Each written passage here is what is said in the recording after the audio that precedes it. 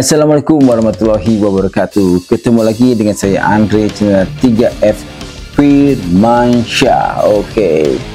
Kali ini kita akan membahas salah satu lagu atau salah satu band Karena memang juga kembali ya diri, eh, dari Amerika Serikat ya. Dan ini merupakan band anak muda zaman dulu ya Kalau sekarang sih kayaknya udah berusia ya tahun 80-an ya. Dan memang tadi sudah saya bahkan intronya ya itu mereka adalah Green Day ya dengan lagu American Idiot Nah itu lagu keren ya. Nah jadi itu lagu yang fenomenal gitu zaman dulu ya. Emang itu saya masih SMP ya. Green Day uh, lagi booming-booming itu waktu saya masih SMP Oke. Okay. Kali ini kita akan membahas tentang Green Day atau mereview tentang grup band dari Green Day. Tapi sebelumnya jangan lupa dulu like, comment, and subscribe Oke? Okay? Oke. okay kita mulai pembahasan tentang Green Day. Oke, okay, jadi Green Day ini adalah grup band punk rock asal Amerika, tepatnya Berkeley, California ya. Dan ini terbentuk pada tahun 1986, tapi ini masih dalam uh, konsep masih anak remaja ya. Usia 15 tahun lah, jadi belum uh, seperti sekarang Green Day terbentuk sekarang ya, itu masih usia 15 tahun ya. Dan memang saat itu formasinya yang masih sekarang bertahan itu yaitu ya kita katakan Billy Joy Armstrong dan Mick Trin ya, itu ya pemain uh, bass dan sang vokalis dan pemain gitar ya itu awal terbentuknya Green Day ya. Dalam waktu itu belum Green Day ya. Dan dulu juga personilnya ya yang masih sekarang bertanya cuma dua itu ya uh, Mick Green dan uh, Billy Joe Armstrong. Dan pada saat itu mereka juga uh, dibantu oleh uh, salah satu mungkin teman ya karena teman permain karena kan biasa kalau kita kan uh, satu geng gitu itu kan dan mereka dalam satu visi misi ya untuk membuat karya yang uh, hebat dalam uh, karya musik ya dan kebetulan mereka juga dalam satu aliran genre yang sama ya aliran musik funk ya karena mereka ter, terinspirasi ya dari grup band asal Amerika juga Rancid ya kita kata Rancid nanti kita juga akan bahas grup band Rancid oke okay? setelah pembahasan uh, yang lainnya oke okay? setelah mungkin band Green Day ini oke okay?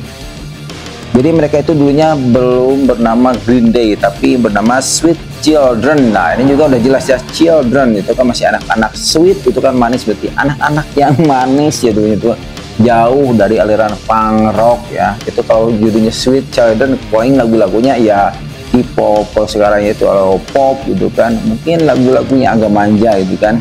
Sweet children nah tetapi justru mereka kebalikannya ya dengan aliran ya punk rock ya itu yang luar biasa dari mereka ya. Oke okay.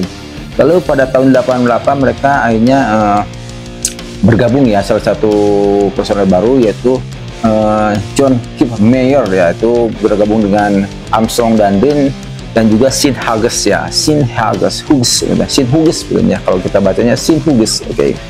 dan yang luar biasa itu John Kip Mayer itu adalah merupakan sang drummer ya sang drummer dan dia juga berprofesi bukan hanya bermain drum ya tapi dia juga kayak semacam manajer mungkin ya karena kan dia uh, manajer semacam uh, bisnisnya terus uh, menangani jadwal penampilan mereka gitu kan. Jadi semacam ya ya manajer kayak gitu kan. Membuat jadwal membuat uh, temu wawancara itu tapi kayaknya tahun ini belum se, se terkenal seperti sekarang. Itu kan masih masa remaja ya mereka ya. Baik. Jadi formasi mereka pada tahun 88 itu ya uh, Billy John Armstrong, Green, Sid Hargus dan John Kip Mayer ya. Oke okay. itulah uh, personil dari Green Day sebelum eh, sebelum Green Day ya. Masih Sweet Children ya oke. Okay. dan akhirnya uh, mereka ya menyatu membuat grup band ya. Dan genre mereka itu ya terpengaruh dari saya tadi sudah saya bilang ya dari grup band Rancid yang beraliran ya, atau genre musik punk ya. Itu punk murni ya. Kita kata nanti tema sejarah uh, band Rancid juga kayaknya nanti saya akan bahas ya karena agak menarik ya khususnya sang vokalis yaitu banyak kontroversi yang terjadi dan itu mungkin agak sedikit uh, kayaknya agak seru nih kalau kita bahas nanti oke okay? untuk uh, band Rancid oke okay? tapi kita kembali lagi ke Green Day ya jadi Green Day ini tadi kita sudah saya bahas ya jadi mereka tahun 88 akhirnya terbentuk bersama personil lainnya ya Jeff Mayer dan Sean Hughes ya oke okay. Lalu pada tahun 89 uh, eh, akhirnya tak inilah awal Green Day terbentuk ya, nama Green Day ya, terbentuk ya karena uh, mereka uh, mengganti Sweet Children dan Sweet Baby ya dulu ya. Jadi mungkin nama-namanya itu kalau dengan tidak sesuai dengan apa genre yang mereka bawakan ya. Karena Sweet Children, Sweet Baby aduh kayaknya itu agak kayaknya pinky ya kalau dalam uh, pergaulan gitu. Tapi justru mereka sebaliknya ya dengan nama yang uh, apa mungkin agak manja tapi alat musiknya punk rock ya itu luar biasa ya. Oke. okay. Tadi tahun 89 akhirnya mereka berubah menjadi Green Day dari Sweet Children dan Sweet Baby ya. Tapi sayang sekali uh, sudah terwujudnya Green Day ini uh, Jeep uh, Jeep atau John Keith Mayer ya keluar dari grup band ya keluar dari grup band karena alasan dia ingin uh, serius ya menekuni kuliah ya ingin berkarir atau ingin punya masa depan ya dengan berkuliah mungkin ya. Itu mungkin uh, yang diharapkan oleh John Keith Mayer ya dan akhirnya digantikan oleh Cool ya dan sampai sekarang masih bertahan ya. Jadi sekarang formasi di itu Tree Cool, uh, Billy Joe Armstrong dan Mick Train gitu dan akhirnya setelah bergabungnya Cool ya akhirnya mereka membuat album ya membuat album dengan judul Plunk atau Kerplang apalah namanya coba aja. Kerplang namanya itu ya tahun 80 eh 92 ya. Dan akhirnya mereka membuat album tersebut dan album tersebut bombastis. Pada tahun 92 uh, eh, mereka menuai sukses yang sangat luar biasa di awal karir. Mungkin ini awal karir yang suksesnya ya karena kan kita ketahui tadi di awalnya cuma sekedar band remaja gitu kan. Lalu uh, cuma apa uh, pertemuan-pertemuan biasa band-band biasa gitu kan. Meskipun tadi sudah ada semacam manajer ya John Mayer tapi mungkin tidak seterkenal waktu namanya menjadi Green Day ya. Jadi tahun 92 ini adalah awal mungkinnya uh, Green Day besar ya awal awal banget gitu kan. Karena ada yang lebih nanti uh, membuat Day makin besar gitu kan. Tapi awal kebesaran Day itu dari sini ya tahun 92 setelah mereka membentuk atau membuat album Kerflang ya. Dan album ini luar biasa itu terjual sampai 4,5 juta kopi ya di seluruh dunia tapi ya. Dan mereka uh, dengan berhasilnya album ini melakukan tour ya hampir sepanjang tahun 92 dan 93 malahan sempat ke Eropa. Dan ini mungkin awal Green Day dikenal ya di dunia ya karena kan mereka melakukan tour langsung juga ke Eropa ya dan itu luar biasa. Mereka cuma bertiga.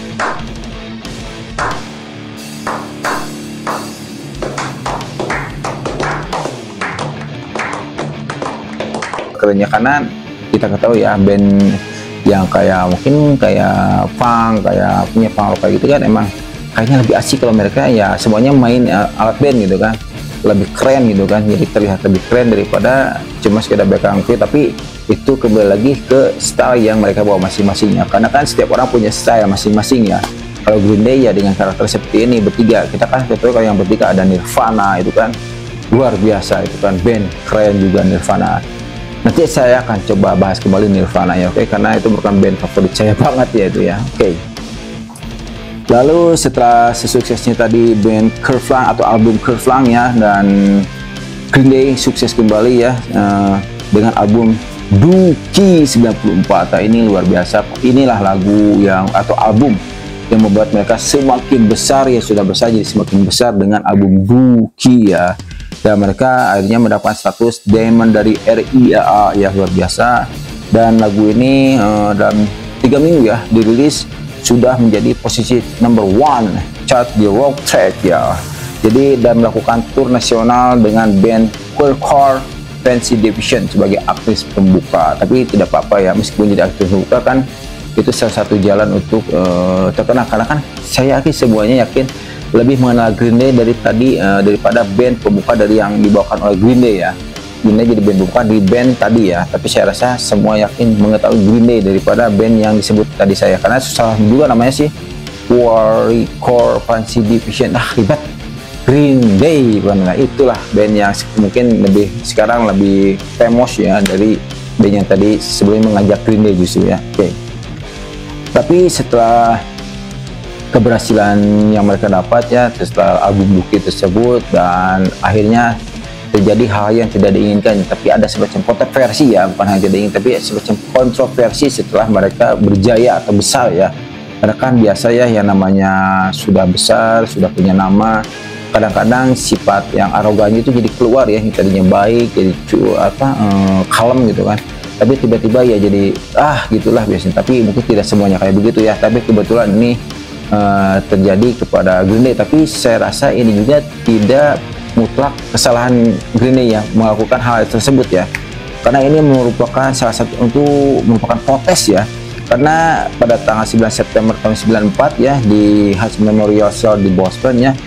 Jadi uh, Billy James Armstrong itu marah ya karena dia merasa tidak puas ya akan uh, kinerja panitia ya karena kan di awalnya mungkin uh, diberikan beberapa lagu ya uh, Green Day tapi dia dipotong ya sampai uh, menjadi tujuh lagu ya dari beberapa lagu yang direncanakan mungkin itu 10 atau lebih dari tujuh lagu ya tapi menjadi tujuh lagu ya dan darinya Billy James Armstrong marah ya dan akibat uh, Kejadian tersebut e, berdampak pada 100 orang luka ya dan 40 orang ditahan karena kerusuhannya. Jadi dampak dari kejadian tersebut dari protes William Armstrong ya dengan melakukan aksi yang mungkin sedikit arogan sedikit ya. Dan dia kan saya pernah lihat e, di TV ya dia protes dia marah-marah akhirnya mungkin para fans itu kecewa ya.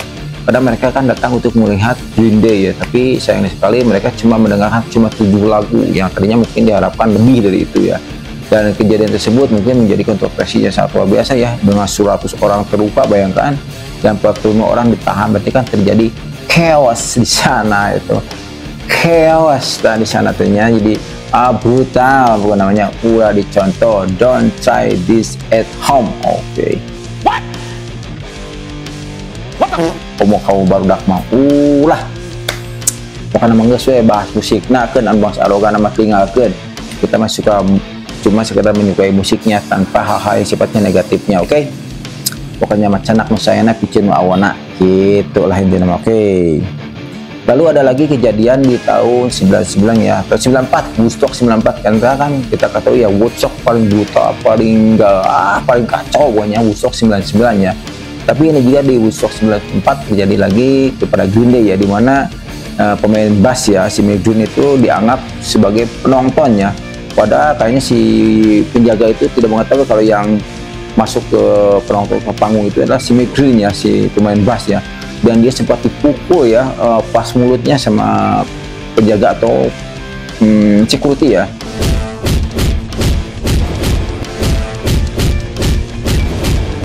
Untuk uh, kegiatan Woodstock tersebut.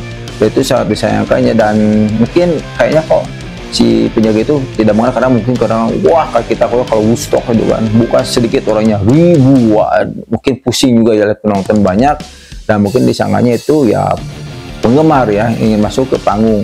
Dan hanya kena bogem lah tuh si mungkin di mulutnya. Itulah kalau kejadian ya kalau kita main terlalu wah motah orang sih namanya ya itu resikonya akan ada hal yang tidak diinginkan. Tapi kita lihat seliplet ya karena mungkin seliplet kan bajunya khas ya jadi mungkin tidak dianggap sebagai oh ini mah penonton enggak. Kalau itu kan bermainan mereka kan kalau manggung ya kayak penonton juga ya tuh dengan gaya seperti biasa gitu kan. Apalagi si James itu kan dengan cueknya cuma pakai kaos aja mungkin celana jeans kayak gitu kan. Dia tidak pada macam-macam ya. Paling si pemain bass itu kan biasa pakai lekbong ya dengan menggunakan tatonya itu kan. Jadi mungkin dianggapnya ya penonton. Jadi akhirnya dia kena bogem lah tuh. Oke. okay. Lalu uh, pada 2022 2000 sampai 2002 ya uh, ada hal yang juga tidak mengenakan bagi Green Day ya. Ini selain dari kontroversi yang terjadi, ada juga hal yang sifatnya yang merugikan buat Green Day itu sendiri ya. Pada Tapi sayang ya pada tahun 2000 sampai 2002 uh, eh, mereka membuat album tidak sesukses Tuki ya karena menganggap mungkin kejenuhan juga bisa ya berdampak pada hasil karya yang kurang baik ya karena tahun 2000 sampai 2002 ini kata mungkin para uh, kritikus ya kritikus musik uh, dianggap bahwa Green itu sudah tidak relevansi lagi ya tidak relevan dengan uh, lagu yang dibawakannya. Mungkin kita ketahui Green Day kan dengan aliran fangnya mungkin ya. Tapi saat album 2000-2022 ini kayaknya tidak sesuai lagi dengan karakter dari Green Day ya. Itu yang mungkin uh, para kritikus membahasnya ya. Karena sampai album tersebut tidak sukses seperti Duki gitu kan. Tapi ya yang namanya artis sudah besar paling laku-lakunya paling setengahnya atau seperempatnya masih tetap ada yang beli ya. Beda kalau kita anak baru band atau band baru dengan jual susah banget ya. Kalau ini kan sudah besar paling ya turun setengah lah gitu kan biasa nama untuk para band besar gitu kan. Oke. Okay. lalu uh, pada 2003 sampai 2006 mereka ini bangkit kembali ya. Karena kan akhirnya mereka berpikir juga ngapain kita terus kayak gini yuk berjuang lagi. Lah inilah mungkin uh, prinsip dari Billy Johnson dan mereka semua ya. Ingin uh, tetap eksis tetap hebat dan tetap mungkin berkaya dengan kualitas yang bagus ya. Dan pada 2003 sampai 2006 juga mereka akhirnya ya ya bangkit lagi menggeliat kembali ya dikenal kembali dengan uh, nama besar mereka ya. Uh, pecinta musik dunia itu uh, jatuh cinta kembali ya dengan hit sampai sekarang ya. Kita ketahui ada lagu American Idiot. Ya itulah lagu yang super luar biasa sampai sekarang juga kita dapat lihat di cover-cover YouTube ya. Banyak orang-orang mengcover lagu American Idiot dengan versi mereka masing-masing ya. Dan emang berarti lagu ini sangat dicintai ya. Yang tadi saya bawakan tuh yang saya intro oke. Okay dan lagu ini emang luar biasa uh, dan seminggu saja sudah terjual 267 ribu seminggu artinya. Uh, dan uh, sejak dirilis ya sejak dirilis mungkin sampai tahun ini kan saya bahas tahun berapa? Tahun belakang ya tidak tahu sekarang ya. Dan ini sampai 6 juta kuping 6 juta keping bayangkan itu uh, di Amerika Serikat ya dan 14 juta keping di seluruh dunia waktu itu ya tahun berapa ya 9 2000 namanya dan itu sangat luar biasa emang Green Day uh, merupakan band yang fenomenal juga ya karena di Amerika aneh ya band-band yang sifatnya kayaknya istilah stunning ya pada itu lagunya kalau kita bah kalau kita dengar ya biasa-biasa aja tapi kok dapat kena di hati gitu kan sampai penjualnya juta-juta juta gitu kan. Karena kan untuk penilaian satu juta susah banget ya. Dan luar biasanya emang agak rata-rata lagu underground dari Amerika itu memang mudah diterima oleh masyarakat atau pecinta musik dunia ya khususnya musik underground ya. Karena musik punk juga salah satu mungkin termasuk salah satu musik underground juga ya. Kan kita ketahui kalau ada acara underground nih ya punk, hardcore, uh, greencore itu oh, kayaknya hardcore, greencore, uh, grunge ya. Dan funk itu bukan bukan hal yang aneh ya dalam uh, pegelaran musik undergroundnya. Mereka pasti hadir di sana ya. Empat aliran itu pasti ada ya. Ya mungkin uh, kalau greencore ya dengan ya gotiknya. Kalau hardcore ya dengan aksi-aksi ya menawan kayak skateboard biasa kan kayak mereka kan kayak gitulah. Untuk punk ya kita ketahui punk ya dengan mic-nya gitu kan dengan spin ya di baju semuanya dan untuk gerang ya kita tahu ya kayak Nirvana ya dengan cueknya dengan gaya bebas mereka ya. Dan itu musik atau genre yang selalu ada di semua pagelaran musik underground. Pasti namanya mau apa tetama saya yakin itu ya. Tapi ada hal yang sangat uh, disayangkannya sebetulnya mereka juga uh, pada tahun 2003 itu tidak sekedar membuat album hebat ya sebelumnya itu mereka mempunyai hal yang tidak enak ya di mana mereka sudah membuat uh, semacam rekaman ya tapi belum fix untuk di share atau ditayang disebar ya. Mereka tuh uh, dicuri ya hasil mereka itu sebanyak 20 lagu di dalamnya ya kan itu sangat luar biasa ya. Hasil karya capek-capek ya 20 lagu dicuri orang ya.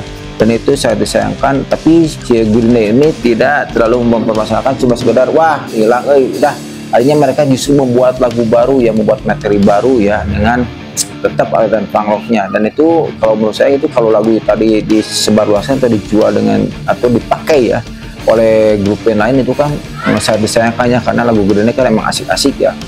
Jadi emang mudah diterima oleh masyarakat. Dan tapi kan kalau dibawakan pasti dia mengatakan itu lagu saya gitu kan pasti akan uh, kena sanksi lah biasa kalau itu kan hak cipta ya gitu kan dan saya yakin Gede juga pasti sudah mempunyai masternya ya sebelum uh, apa lagunya itu dicuri orangnya. Oke. Okay mungkin itu saja pembahasan dari Green Day dari mulai terbentuk sampai mungkin eh, ya tadi sudah bilang sampai nama besar mereka itu bangkit ya dari mulai ya dari mulai anak kecil 15 tahun lalu mereka membuat grup bersama teman-temannya seperti biasa anak-anak muda gitu kan. Dan aja mereka membuat album dan boom gitu kan berhasil sampai terjual uh, dan tiga juta gitu kan 4,6 juta. Lalu ke sininya lagu Duk album Duki juga luar biasa boom kembali. Dan tetap setiap setiap um, berkarya itu kan ada turun naik ya. Dan itu kan tadi ketahui itu ada naik turun lagi di saat uh, yang 2000 itu ya saat karyanya tidak dianggap relevansi. Lalu naik lagi nah, itu luar biasa. Dan akhirnya sekarang uh, Green Day masih dicintai ya oleh masyarakat atau pecinta musik underground khususnya punk oke. Okay. oke okay, segitu dulu yang dapat saya bahas tentang Green Day. Semoga nanti saya akan bahas kembali. Tadi mungkin saya sudah uh, mencoba ya ingin membahas Rancid ya. Jadi akan mencoba membahas Rancid dan akan membahas Nirvana kembali ya karena saya sangat menyukai lagu dari Nirvana oke. Okay. oke okay, nanti kita bahas lagi review-review yang lainnya tentang musik. Oke okay, saya Andre. Jangan lupa like comment dan subscribe 3F Firmansa Assalamualaikum warahmatullahi wabarakatuh. Jangan lupa puasa. Oke okay, ciao